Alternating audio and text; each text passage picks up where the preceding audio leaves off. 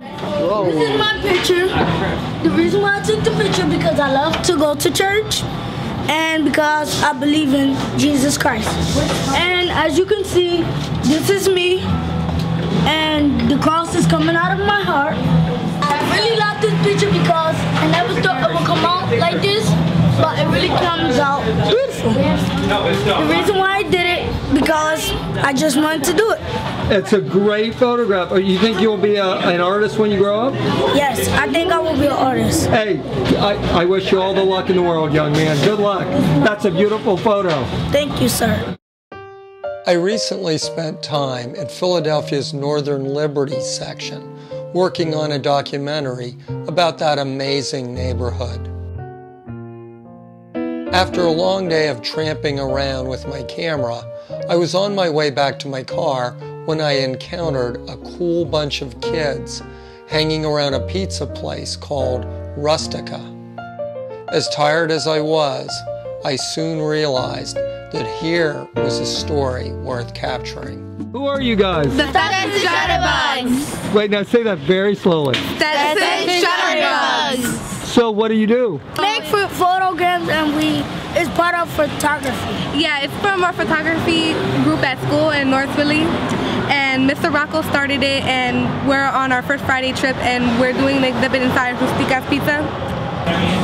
You rarely see this many beautiful cooking onions. Well, here you'll see it every day. oh man, that looks good.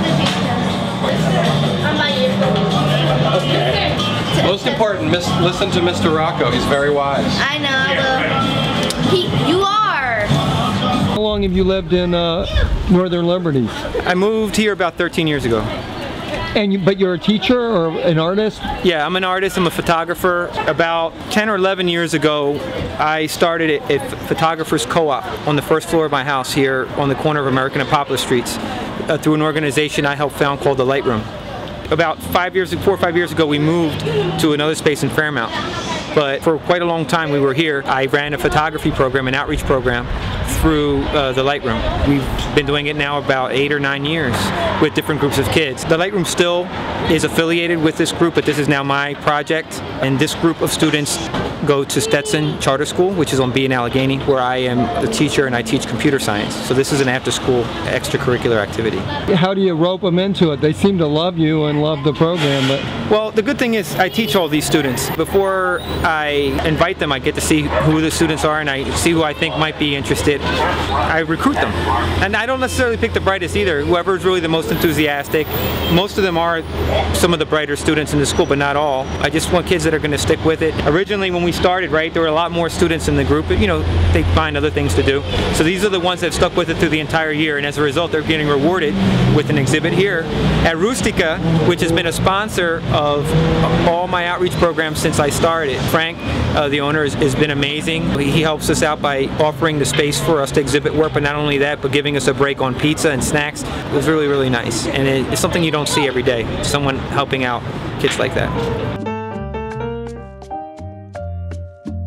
My name is Frank Maimone. I'm the owner of Rustica Pizza and uh, friends with Tony Rocco. We're hosting the show tonight because I appreciate and love the work that Tony does. We've supported him from the beginning. I think it's meaningful.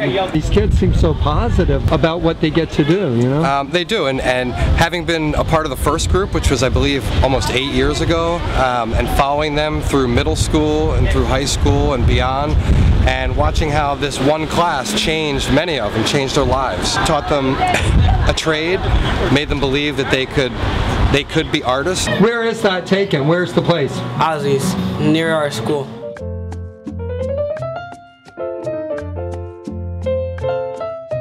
We stood there sitting in one place for five minutes while the pinhole camera took the whole picture for 25 minutes. And like we look like ghosts and that's the reason but I moved more than her so you could see her more than me and you could see some of the students sitting at the computers.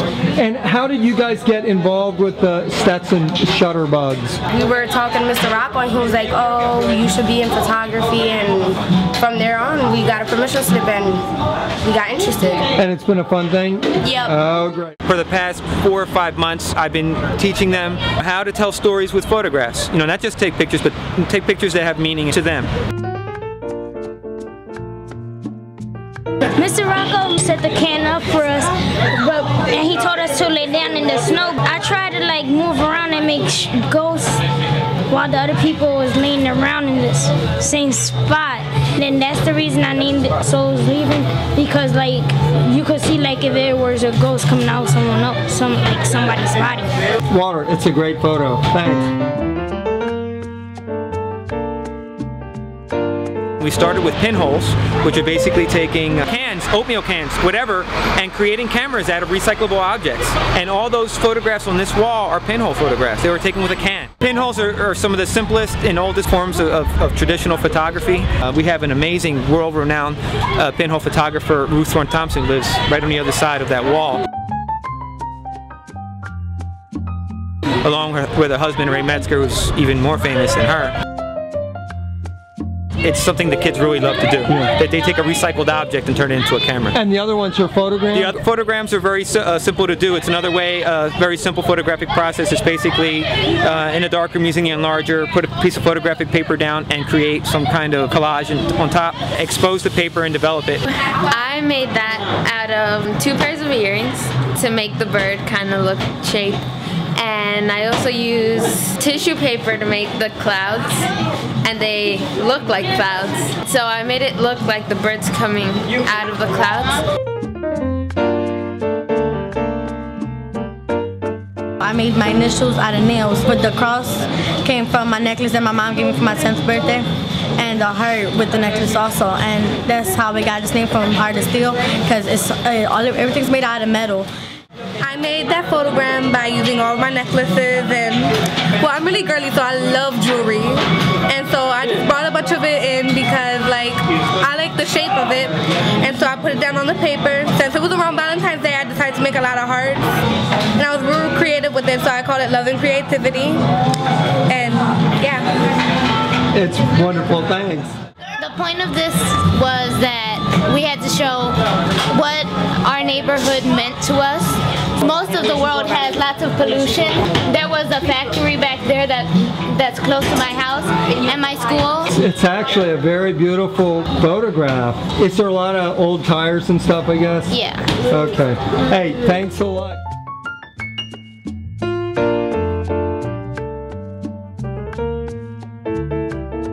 Not every member of the Stetson Shutterbugs is a kid. One is a parent who joined to help and learn photography herself. My name is Miss Janet, and she's the best parent ever. Is she your parent? No. But just a generally She's good parent. Yeah, she's Better my than your parent and her parent. well, what makes her such a good parent?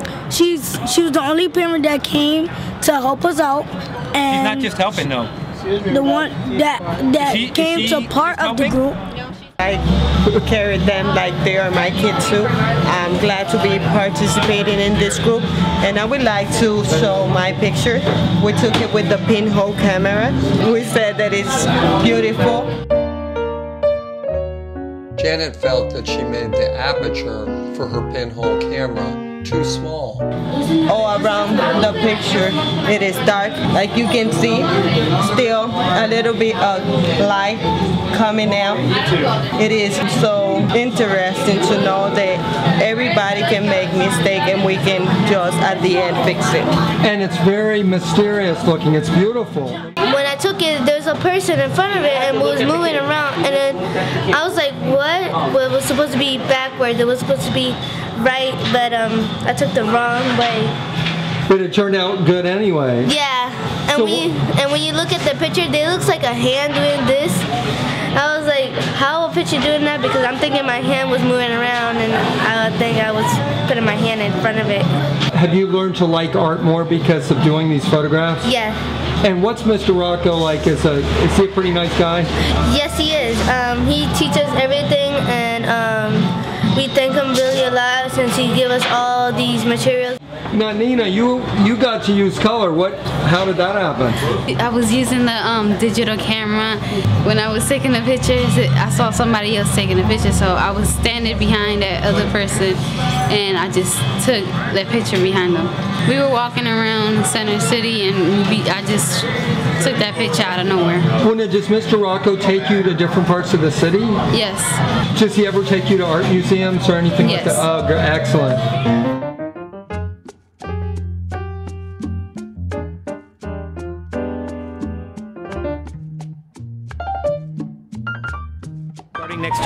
I'm starting a distance learning program between students in North Philadelphia and a farming community in Colombia. Each one of my students will be paired with a Colombian kid, and over a course of a year, they're going to be exchanging photographs and exchanging stories and exchanging videos. They're going to get to learn all about each other's cultures. And if everything works out well, we're going to start raising money in September. Some of these kids are going to get to go to Colombia to actually meet the kids and their families, Oh, and some of those kids are going to get a chance to come to Philadelphia and see the city of brotherly love. So I'm really excited about that. This is uh, Philadelphia's finest, giving a thumbs up on the Shutterbugs art. That's the best art I ever seen. Good job. In my opinion, the Stetson Shutterbugs is a remarkable group of young artists, and their mentor, Mr. Tony Rocco, is a gifted photographer, great teacher, and awesome human being. There's no doubt that the lives of these kids are enhanced through what Tony has taught them, making sense of the world and finding meaning through art. Check out the blog of the Stetson Shutterbugs, follow their progress, and maybe even consider helping them a bit yourself with a small donation. You will be making a better world.